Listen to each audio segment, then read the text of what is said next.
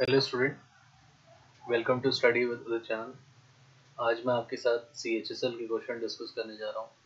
C H S L means combined higher secondary ठीक है? इसका जो सी एच एस एल का एग्ज़ाम होता है स्टाफ सिलेक्शन कमीशन का. तो आ, तीन क्वेश्चन ही डिस्कस कर रहा हूँ. एक्चुअली ये बिना पेन वाले क्वेश्चन है. बिना पेन मतलब आपको पेन नहीं उठाना है. और ऐसा मेरा मानना है मोस्ट ऑफ़ द क्वेश्चन में आपको पेन उठाना नहीं होता है. तो जितना ज़्यादा क्वेश्चन आप ब्रेन में करेंगे उतना बढ़िया रहेगा. ठीक है, चलिए। सबसे पहले क्वेश्चन की तरफ़ बढ़ते हैं। मेरा एक्चुअली वो कीबोर्ड काम नहीं कर रहा है माउस से बता रहा हूँ। पहला क्वेश्चन है calculate the total number of factors total number of prime factor चार की घात ग्यारह, चार की पावर इलेवन फाइव की पावर फाइव थ्री की पावर टू थर्टीन की पावर टू इसका जो मल्टीप्लीकेशन है, इसमें जो टोटल प्राइम फैक्टर होंगे, वो कितने होंगे? तो जब भी इस टाइप का क्वेश्चन आता है टोटल प्राइम फैक्टर का, सारी पावर निकाल के ऐड कर दो।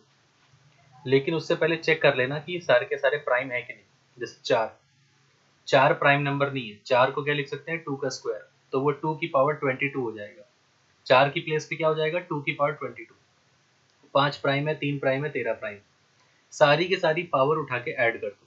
तो फिर से बोल रहा हूँ, अगर तुम्हें टोटल प्राइम फैक्टर निकालना है तो सारी की सारी पावर निकाल के ऐड कर दो। चार होता है टू की पावर टू फाइव होता है फाइव फाइव भी प्राइम है थ्री भी प्राइम है थर्टी भी प्राइम तो पहले से आया 22 22 प्लस फाइव हो गया 27 27 प्लस टू हो गया 29 29 प्लस टू हो गया 31 31 अपना आंसर आगे बढ़ जाएँगे।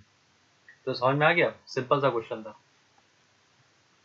कुछ करना नहीं, बस फटाफट क्वेश्चंस देख लें नेक्स्ट तीन नंबर्स का रेशियो है three is to six is to eight और उनका प्रोडक्ट है नाइन टू वन सिक्स तो उनका सम कितना होगा? तीन नंबर है, उनका रेशियो है three is to six is to eight और उनका टोटल मल्टीप्लीकेशन है नाइन टू वन सिक्स तो उनका टोटल कितना होगा? अब तुम देखो छः तीन नौ नौ आठ सत्रह। अब जो ऑप्शन सत्रह से कट जाएगा, वो मेरा आंसर होगा। एक ही ऑप्शन सत्रह से कट रहा है सिक्सटी एट तो मेरा आंसर होगा ऑप्शन नंबर फोर फिर से बता रहा हूँ। तीन नंबर है जिनका अनुपात है थ्री अनुपात छः अनुपात आठ। इनका गुणनफल है नौ हज़ार दो सौ सोलह। तो इन तीनों संख्याओं का योग क्या होगा? छः तीन नौ नौ आठ सत्रह। तो सत्रह सत्रह अड़सठ से कटेगा ना, सत्रह चक अड़सठ तो ऑप्शन नंबर फोर मेरा आंसर होगा। नेक्स्ट क्वेश्चन है find the volume of the cube of the side 3.5 centimetre 3.5 centimetre वाले क्यूब का वॉल्यूम निकालिए। तो अब इसमें हम लोग क्या करेंगे? 3.5 का क्यूब निकालेंगे। 3.5 का स्क्वायर कितना होता है? अभी तुम 3.5 को भूल जाओ। इसको 35 मान लेते हैं। ठीक है? 35 का स्क्वायर होता है 1225 क्योंकि 35 का स्क्वायर करने की ट्रिक तुमको पता होगी। पाँच का स्क्वायर पच्चीस, तीन में एक जोड़ो चार, तीन चौको बारह। पैंतीस का स्क्वायर हो गया बारह सौ पच्चीस। और इसमें तुम्हें गुणा करना है पैंतीस से। अब देखो ऑप्शन नंबर थ्री और ऑप्शन नंबर फोर तो चला गया। क्योंकि तुम्हें अभी 1225 में 35 का गुणा और करना है। देखो, मैं मन में करना सिखा रहा हूँ।